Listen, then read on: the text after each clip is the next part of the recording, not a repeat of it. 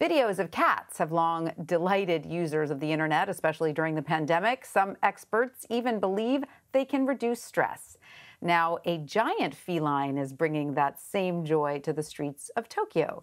CBS News correspondent Lucy Craft shows us how.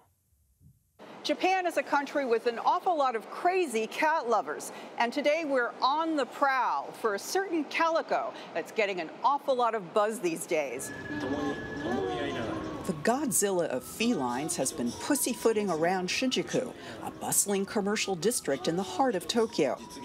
Every few minutes, giant cat briefly pops into view, flicking his tail and gazing upon a growing band of admirers below. For them, the supersized pet is the cat's meow. With the pandemic, we don't have any way to chill out, said this hotel employee. We're dog people, but the cat is so adorable, it's soothing.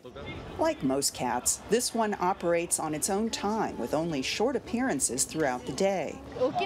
This bank worker said, That giant cat looks like it's ready to pounce. It's really powerful and cute. I loved it, but I would have liked just a few more seconds with the kitty.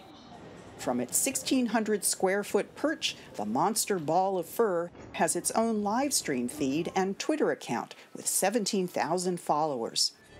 Ultra high resolution curved video signage is rapidly generating copycats across Asia. Last year, the Starship Enterprise appeared to fly out of a wall and over the heads of shoppers in Chengdu, China. And in Taiwan, an LED cyclops menaced pedestrians. But here in Japan, it's the pause that refreshes. Lucy Craft, CBS News, Tokyo.